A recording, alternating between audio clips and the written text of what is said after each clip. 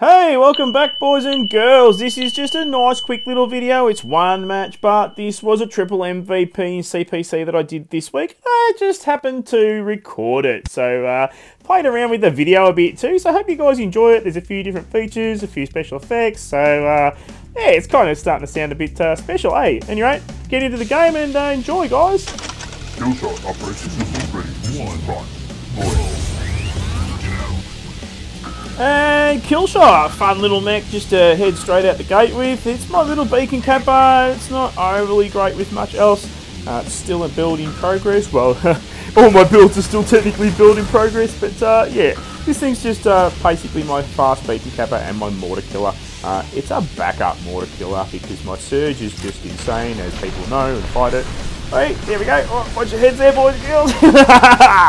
uh, a couple of slow-mos added. Slow-mo in this video editor is awesome, and um, yeah, I'm absolutely wrapped that I changed it to uh, to InShot. So yeah.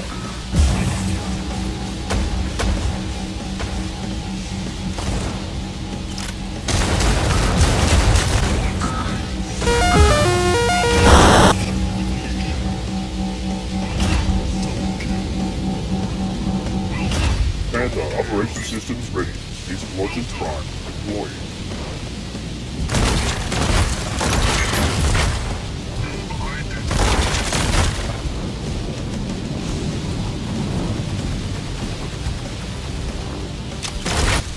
Okay, so there was a little bit about targeting that I was going to mention, and I can't really do a video on it because I can't really get some good gameplay with vertical targeting, but uh, I don't use vertical targeting. It's probably more useful for disc launchers. I'm not great with disc launchers. I still wasn't great with them even using vertical targeting, so uh, I kind of went, you know what, I'd rather be good with all my other stuff than my vertical, uh, than my disc launchers.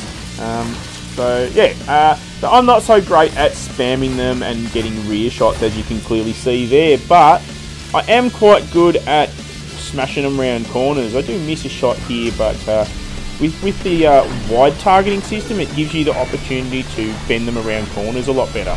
Like that. anyway, yeah, just a little bit of a touch on uh, vertical and uh, wide targeting.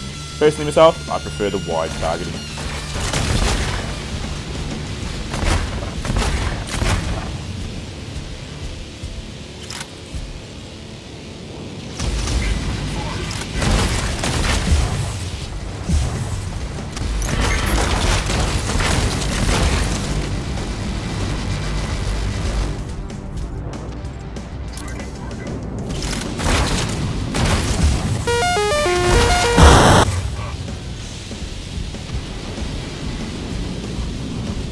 Operation systems ready. On target pessimist shot.